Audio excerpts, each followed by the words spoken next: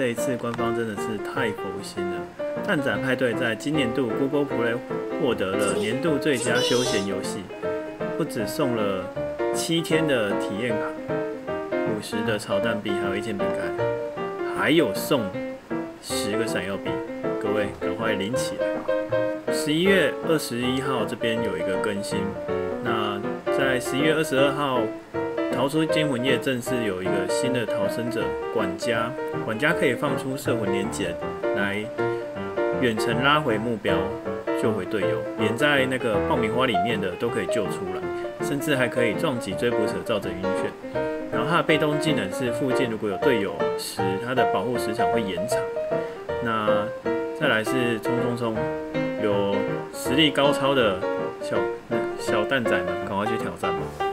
这边还有一个新的盲盒，就是草头娃娃茵茵，这只还蛮可爱的，我们看一下。这一只还有三个颜色，那个是绿色的草头娃娃茵茵，然后粉色的，这应该是粉紫色，还有一个是黄橘色的，这只还蛮可爱的。这边我大概算一下，五十八。通常是大概是在第六次、第七次，大概四五十个闪耀币就可以中。那有存闪耀币的小朋友，赶快抽起来。那这边还有更新一个射手座的背饰，射手背饰就跟上次一样。它，你如果没有买到之前的背饰，它是可以回来买的。哇，它是可以回来买的，所以。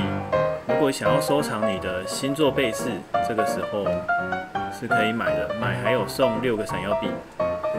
然后呢，这一次因为我们要准备换季了，下礼拜二十八号就换季了。那这一次还有一样有那个暗夜精灵的活动，那下一次的盲盒就可以有五折优惠。